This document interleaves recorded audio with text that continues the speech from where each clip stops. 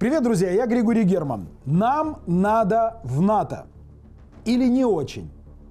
После 22 февраля 2022 года этот вопрос может казаться очень провокационным, особенно в преддверии саммита НАТО, который пройдет 11 июля 2023 года.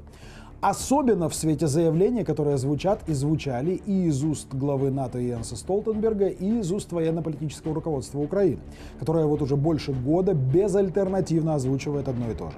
Настоящая безопасность Украины возможна только в рамках НАТО и ЕС.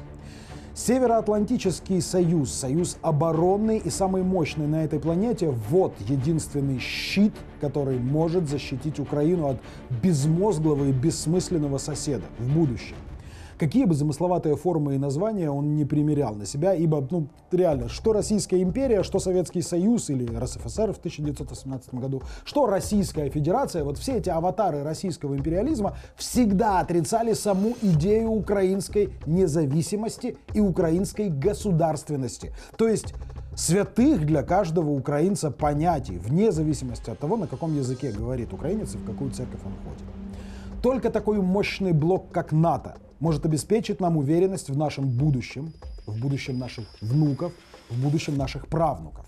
Это я вам как старый сторонник евроатлантической интеграции говорю.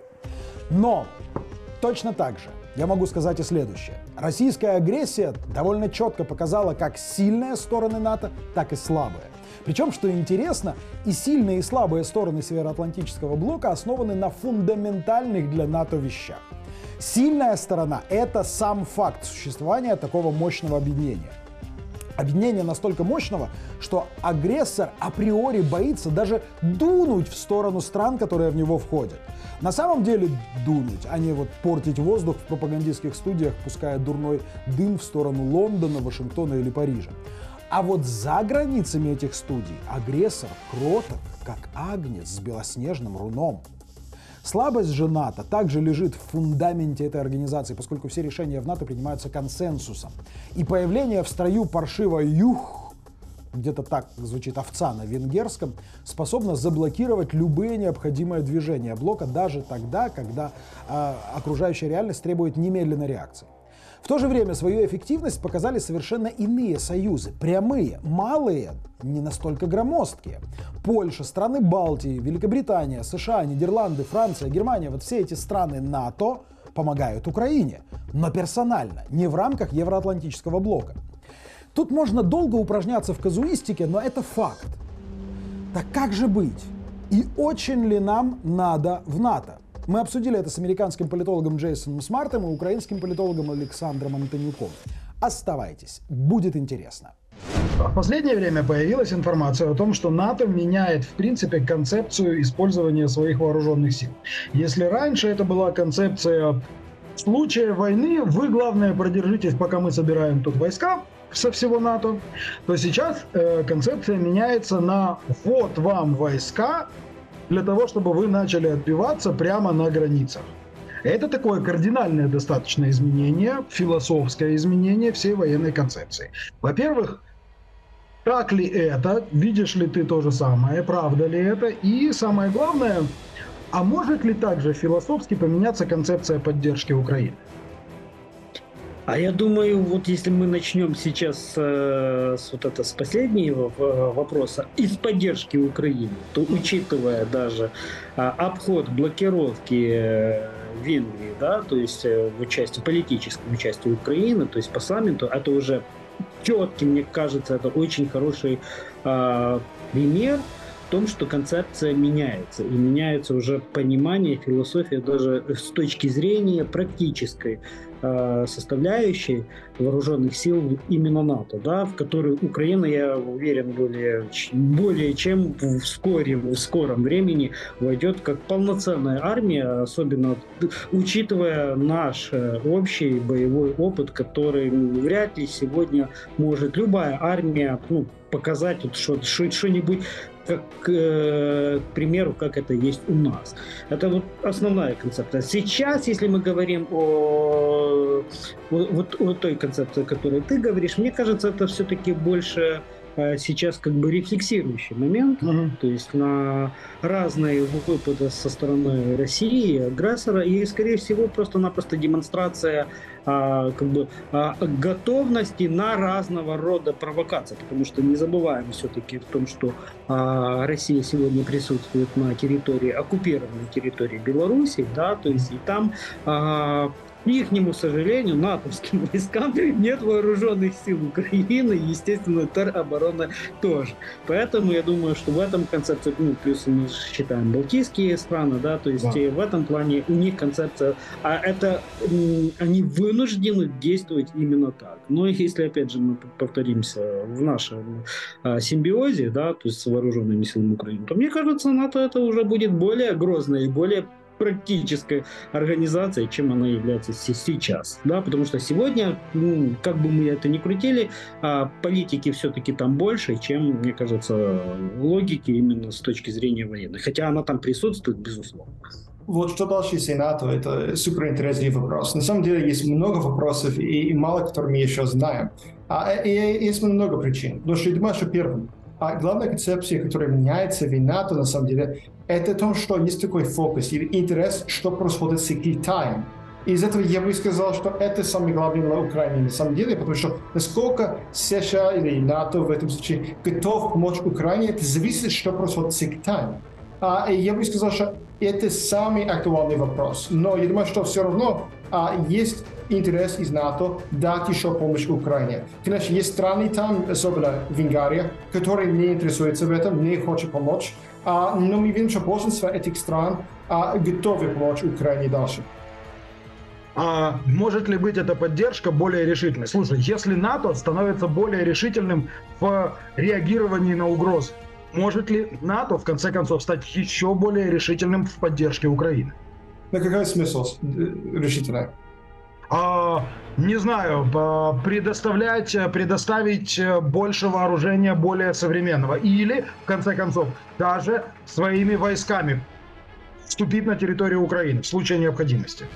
Я, я думаю, что НАТО не готов сейчас отправить солдатов в Украине, потому что, первым, как мы знаем, нам нужны голосы из всех стран НАТО. А мы знаем, что есть страны там, например, Венгрия, которые не готовы а, отправить своих солдатов в Украине. А из этого я бы сказал, что это в данный момент нереально. А и даже это оружие, которое Украина сейчас получает, это каждая страна сама решила, сколько оружия, какие оружия а, перебросывать в Украине. А это не было решение, скажем, НАТО всего. А, и, и это особенно из-за того, что Виктор Орбан не хочет помочь этим проектом, а и это решение каждой страны своя.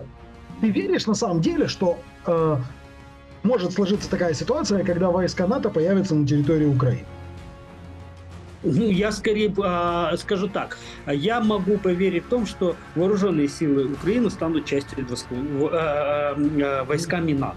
Вот в этом формате я поверю быстрее.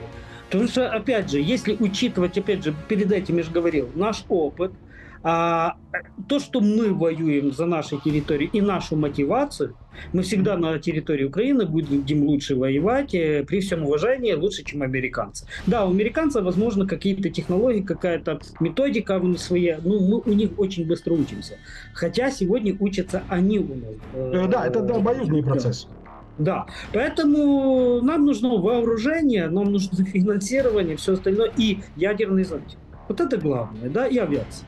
Вот сейчас, мы, да, сейчас, сейчас, сейчас мы чуть дальше поговорим о ядерном зонтике, потому что там возможны варианты. Эм, я, если ты уже говоришь о том, что войска Украины, да, вооруженные силы Украины станут одной из армий НАТО, сейчас э, НАТО или многие члены НАТО боятся в основном там э, членства Украины в НАТО из-за боязни там втягивания России, ядерный конфликт, ла-ла-ла, все вот эти вот дела, да.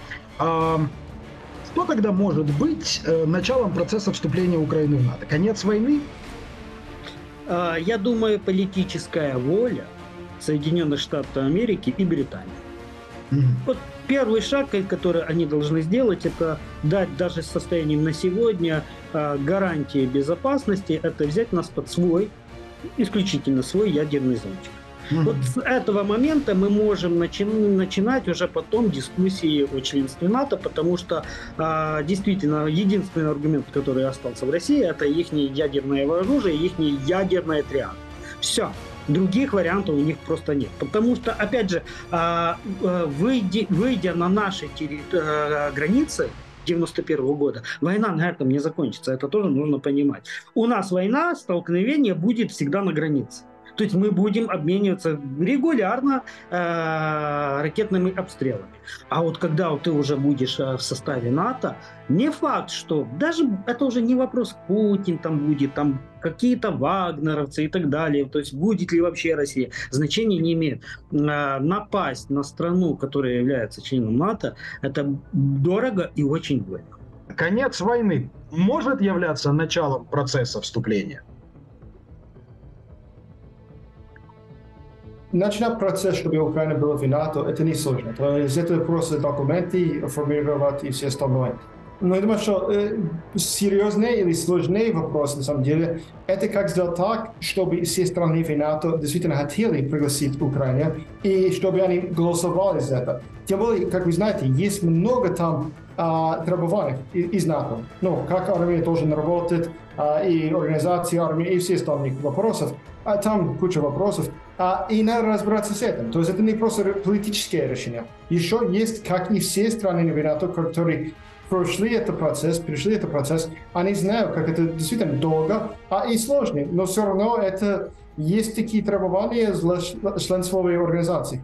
Ну, я считаю, что изменение в политике принятия Украины в членство НАТО, да, то есть в этот состав НАТО, а, оно будет все равно меняться. И после нашего наступления, после того, как мы выйдем или когда мы выйдем на наши границы, а, все равно будет меняться и политическое отношение, и конъюнктура в этом формате. Потому что как воспринимают в Кремле заявление того же Писториуса?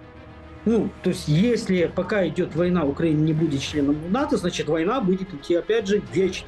Угу. Значит, мы, да. мы должны эту повестку не поменять мы должны выйти э, на момент наших границ, то есть и учитывать, что Украина является целостной терри- территорией, то есть она готова охранять, и на этом этапе мы должны стать полноценным членом НАТО. Но опять же, объясню, как только мы получим э, гарантии безопасности со, со стороны США и Британии, хотя бы, да, то есть по, да. по, по ядерной э, зонтике, концепция будет меняться и отношения, опять же, в любом случае. Потому что если должна быть ядерная война, ну, мы просто, опять же, утрируем. Будет ли Украина в НАТО? Не будет, она все равно случится. И это уже просто должно э, к обществу западных стран просто э, восприниматься как должное. И тогда уже, возможно, бояться будет нечего по нынешнему состоянию украинской армии, мне кажется, что украинская армия и по вооружению, и по связям с западными странами, и по логистике уже во многом больше в НАТО по тем критериям, о которых ты говоришь, чем некоторые страны НАТО. Ну, это не вопрос... Да, хорошо, сейчас чтобы страна была в НАТО, это, это больше, чем просто Украина очень готова. Это вопрос, если, а как она работает сегодняшний день, если это действительно может работать вместе с uh, другими членами НАТО. То есть, если вы завтра будут какие-то офицеры из, из, из Франции здесь, или из Германии здесь, или из США, они, они работают, своей армией работают, именно как украинская армия работает, чтобы они могли легко изменить человека, и отправить другого человека, что они уже знают, как работает, украинская армия знает, как работает, как натовская армия. Потому что если не знают, как работать вместе, чтобы это было легко изменить, вот, мы можем сегодня отправить э, людей из, из, из Финляндии туда, и еще из Канады туда, еще украинцы туда, и они сразу знают, как работать вместе, потому что есть такая общая опыт в НАТО. То есть они знают, как это все работает. И это должен быть, как, скажем, мотор в машине. Вы знаете, что если есть Toyota, вы можете изменить это запчасти и всегда будет работать, потому что все Toyota будут одинаковые. Армия должна быть то же самое, что это легко изменить любой запчасти или любую команду, или любую армию и работать вместе. Uh, и я не знаю, если Украина сейчас uh, выполнила все задачи, чтобы они были готовы действительно так и работать с натовскими армиями. А, ну, у Украины есть опыт ведения боевых действий на натовском оружии и с натовскими, а, с натовскими военными играми, э, с, иногда часто, ну не с, НАТО, с натовскими офицерами, которые там, условно говоря, по логистике э, в Западной Европе помогают украинцам. А, этого опыта недостаточно, его должно быть еще больше. Конечно, надо больше, чем это, потому что на самом деле это больше, чем просто опыт с этим. Это действительно, это полная, скажем, школа а, которые на идти учиться, и, и все офицеры, чтобы они работали как на армии. А, и, и, и, как я сказал, что, я думаю, что это будет а, действительно а, не совсем сложный процесс, но это не будет быстрый процесс. Видишь, какое политическое положение и какой политический строй, что должно происходить в России для того, чтобы Россия не препятствовала вступлению Украины в НАТО теми или иными методами? Это развал России. Это реально развал России. Потому что до, пока Россия будет сохраняться именно как вот такой гигант, как вот такой геополитический субъект, а, он всегда будет претендовать на территории Украины и вообще все эти территории, когда в свое, в свое время когда-то входили в состав Русской империи. Российской империи, да, то есть, ну, Советский Союз это та же Русская империя, только под другим брендом, логотипом, как хотите, да, то есть вот в этом формате мы можем я, э, понимать. И это, это мы должны понимать, потому что если за столько времени Российская Федерация не оторвалась от своих фантомных болей и имея даже такие возможности вот и ресурсы развиваться, не развивается, осталась э, в прошлом, а то и даже позапрошлом столетии начинает деградировать, то строить себе иллюзии, что там что-нибудь поменяется без внешнего протектората, ну, mm-hmm. это, мне кажется, это очень э, легкомысленный взгляд. Потому что верить в то, что они что будут развиваться, нельзя. То есть 3-4 поколения под внешним протекторатом, под тем же Китаем, они скорее будут как бы развиваться, чем они это будут делать самостоятельно. Ну и в принципе в любом случае, чуть только у России остается хоть какой-то приблизительный намек на имперскую а, манеру мышления, тут же моментально в этой да. имперской манере мышления не складывается никогда и никоим образом Украина и НАТО. Да, да, да, да. И тут вопрос опять же не НАТО, не в НАТО. А это было у них э, э, чем их пугает НАТО? Опять же, ядерный, э, ядерным зонтиком. Они прекрасно помнят а, Вторую мировую войну. Ну, по крайней мере, те, кто у руля или, скажем так, а, составляет какие-то смыслы, да, то есть не всегда это публичные люди, но они прекрасно понимают, что сами они бы Вторую мировую войну бы, ну, хотя территориально, ресурсно они, мне кажется, были больше, чем Германия. Это не кажется точно, но без э, союзников бы это выиграть было бы невозможно. И теперь, мы, если мы говорим о НАТО, то есть для России это всегда просто э, барьер или преграда оккупировать чужие территории. Угу. Ну, вот только вот по всему, э, поэтому они начинают выстраивать вот эти все вот легенды, мифы толстые. Честно, я думаю, что война закончится, когда Россия распадется. А я думаю, что есть серьезная возможность, что в России будет какой-то а, ку или и, это революция а, или переворот. А, я думаю, что это очень реально. То есть я думаю, что это может быть. На последние полгода Россия потеряла 50% а, ценности рублей. А своя экономика сейчас есть огромные проблемы. А, я не вижу, как Россия может продолжаться надолго. Из этого думаю, что есть серьезная возможность какой-то переворот в России. А если случайно э, случае а, переворота или такого, а, тогда мы можем ожидать, что новые лидеры в России будут готовы, ну, like другие продвижения, чем Путин. Потому что мы видим, что Путин идеолог, а не готов к этому. Вариант номер два. А нужно ли нам, условно говоря, вступать в НАТО? Подожди, не кидайся в меня ничем тяжелым. А, да, ну, потому, это нормально. Потому что вопрос, в принципе, нужно ли нам, Украина сейчас, ну, боевой потенциал Украины уже превышает, ну, минимум половину, а то и две трети всех армий НАТО, которые есть. А Украина получает там современное вооружение, получит его в тех количествах, которых, э, которое позволит ей защищаться самостоятельно. НАТО очень бюрократизированная структура, э, консенсус, а не позволяет принимать решения быстро. Э, всегда будет какая-то условная Венгрия или неусловная Венгрия. А есть идея малых союзов. Ну вот, малые союзы между Междуморья. Балтия, Польша, Украина и Великобритания. А Вышеградская, там, четверка и так далее и тому подобное. А эти союзы могут быть более мобильны при принятии решений и, как следствие, более эффективны. Ну, это хороший вариант, но я его рассматриваю, такие малые союзы, это как бы такой промежуточный момент до вступа в НАТО. Ну, если бы в НАТО было бы настолько плохо, то, наверное, его бы не существовало. А, учитывая все-таки глобализацию э, мировых трендов и то, что тоталитарные режимы тоже объединяются, мы должны быть в составе чего-то большого. И НАТО это в первую очередь это все-таки мировоззрение, да, это философия. И та же Венгрия, она все равно демократическая страна. Да, даже с вот этими русскими нарративами, промытыми мозгами и интересами. Но тем не менее, выборы там проходят демократическим правда? Да, главное, конечно. Да. Нет, а, свободное, да. Да, да, да. Поэтому я считаю, что НАТО мы должны, это наша цель, и мне кажется, это одна из э, целей, даже более приоритетной, чем даже вступление в Европейский Союз. Тут я теперь прошу меня чем бросать в ответ, потому что сначала безопасность потом уже будет экономика. Будет безопасность, будет экономика. Малые союзы, да, это возможно. Вариант, ну, промежуточный. Лучше, гораздо лучше договориться прямо сейчас и другими странами, с Великобританией, с Канадой, с Соединенными Штатами, а договориться с ними сейчас о безопасности. Потому что это можно реализовать сегодня, если бы они хотели.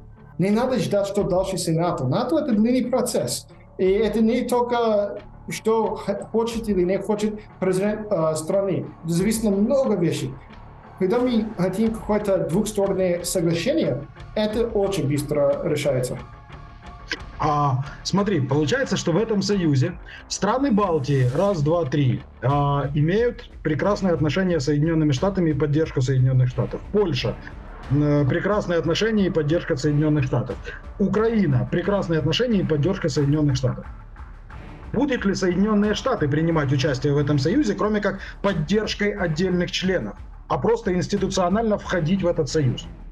Я думаю, что возможно. На самом деле, то есть я вижу, что это возможно. Из этого я, я, я думаю, что это, на самом деле, то есть, это два-три года я говорю об этом, лучше, чем говорить о НАТО. А, потому что это длинный процесс, лучше договориться прямо с Соединенными Штатами. А, и потом это другие страны, которые уже показали, что они очень готовы помочь Украине, как Польша, а, прибалтийские страны, а тогда договориться с ними тоже. А, и это будет быстро и, и действительно легко реализовать. Мне кажется, что у НАТО это еще тот момент, который нам позволит, а, во-первых, э, чуть-чуть оптимизировать даже наши потенциальные возможности военные, а учитывая, что после войны мы все равно экономически очень и очень много потеряли. Потеряли и потеряем еще. Мы деиндустриализированная страна. И мы не сможем самостоятельно удерживать даже тот потенциал, который сегодня является у нас. Но это тоже правда, потому что большое количество военнослужащих потом захочет вернуться в гражданские специальности, да. бизнес и так далее. Поэтому мы, ну, сегодня мы просто воюем, мы обороняемся. Но быть постоянным в, э, в системе милитари мы точно не можем. Поэтому вот даже вот с такой логики я объясняю, почему мы должны быть а, членами большого коллективного клуба безопасности. Политически, да, это будет опять же риторика возможно, даже на, на следующих выборах парламентских, когда ну, они будут, возможно, после того, как э, военное э, положение будет отменено, это опять же, ну, это точно не завтра. А, но я думаю, после того, как, э, ну, а, почему я уверенно смотрю на наше членство в НАТО и то, что будет а, достигнут политический консенсус, в обход даже тем, кто будет это блокировать. Потому что даже то количество вооружений, того опыта и денег, которые сегодня вкладываются в Украину, их просто оставить Украину, ну, условно, э, на своем плавании, это просто даже с точки зрения денег нерационально. Ну, а политика это всегда рациональность. Даже за красивыми популистическими словами. Сейчас, вот, вот, а вот сейчас готовься. А ты только что сказал, да, политика это дело рационального, да, это вопрос рациональности, я с тобой абсолютно согласен. А, нерациональнее ли будет, а, создавая малый союз, Учитывая сложности вступления в НАТО и большое количество вопросов, которые НАТО, там, бюрократия и все остальное, а приглашать в этот малый союз не только Великобританию, но и Соединенные Штаты и как ты думаешь, способны ли Соединенные Штаты или Великобритания в рамках этого малого союза, в рамках Междуморья, прикрыть нас, э, Балтию, Польшу э, своими ядерными зонтиками? Отдельно от НАТО. Ну, скажем так, те страны, которые членами НАТО, то есть пятую статью никто не отменял. Да, у них в любом случае. То есть теперь возвращаемся к вопросам. Перед этим я что говорил? Для того, чтобы мы вступили в НАТО, перед этим э, Соединенные Штаты и Британия должны взять нас под ядерный зонтик. Как только это случится, мы можем говорить о малых союзах, о членстве. Все, главное событие состоялось. Вот просто вот напросто. Да, вот Борис Джонсон, как э, в прошлом году, он сказал, что если будет применено России ядерное оружие, любое, Британия оставляет за собой право э, нанести в ответ удар, не проводя консультации со своими партнерами.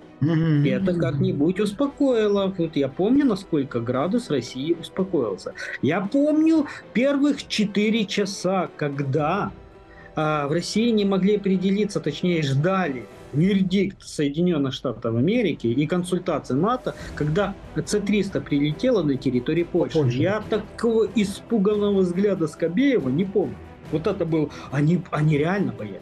Вот там, где реальная угроза, вот там Россия будет всегда идти на попятную. Я думаю, что как только хорошие правительственные психологи донесут нормальные вот раскладки вот политикам, будет все совсем по-другому. Поэтому да, вот перед тем, как чтобы сдвинуть, вот мы опять же упираемся в ключевой момент. Как только США и Британия, ну или какая-нибудь из них страна, ну лучше, когда двое, берут нас между, э, скажем, берут на свой зонтик, а вот это будет ключевой момент, потому что состоянием на сегодня мы находимся между ядерными зонтиками.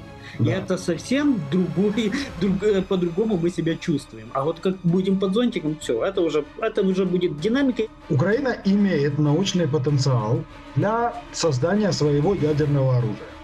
А если Украина будет вступать в НАТО, будет ли НАТО против появления еще одного ядерного арсенала?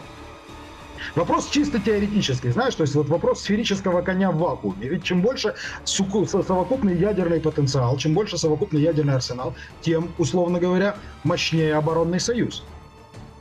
Я думаю, что, знаете, я думаю, что страны НАТО не было бы против многие из них. Я не сомневаюсь, что будут те, которые против. А, но вопрос ядерного оружия, а почему большинство стран уже решили не строить свои ядерные оружия? Это просто дорого просто сумасшедше дорого. А, и каждый год столько денег. А, из этого много стран пытались строить свои ядерные оружия или реакторы, и потом решили бросить этот проект, и просто стоил слишком много денег. А, и, и думаю, что это, это вполне возможно, но это, это серьезное решение. Потенциал научный имеется, но тут вопрос, я думаю, не о ядерном оружии, а о ракетоносителе. Вот тут момент. И мне кажется, в этом контексте нам это будет очень и очень интересно потому что это намного более глобальный проект, и, скажем, э, он долгоиграющий, он всегда требует совершенствования. Потому что заряд ядерный, он же такое, да, то есть все, что нужно было, уже давным-давно изобрели. И в этом плане мне, контексте, мне кажется, это уже не совсем интересно. А вот ракетоносители, чем же Россия хвастается, хвастается сама-то? Ну, это ракета. То есть в этом плане я думаю, что э, мы не то что должны сохранить нашу школу ракетостроителей, а тут я согласен, мы должны ее развивать. А и слава богу, еще есть те люди, которые помнят, которые имеют некие знания. Тут как раз нужно э, создать те условия, которые те люди, которые уже постарше, чтобы мы, не потеряв вот эту школу, смогли э, ее сохранить для будущих поколений. Тогда я в это верю. Есть две вещи, на которые я хотел бы обратить ваше внимание в конце. И обе они связаны с Россией. Первое. Вторжение России в Украину всколыхнуло тихую североатлантическую заводь так, что по большому счету мы не можем сейчас понять, какие конфигурации она примет в будущем, по каким правилам будет жить и какие течения будут в ней. НАТО уже сейчас трансформируется, ищет пути улучшения эффективности Союза. Второй тезис, касающийся России в этой дискуссии, еще более показателен. Собственно, Россию никто не спрашивает.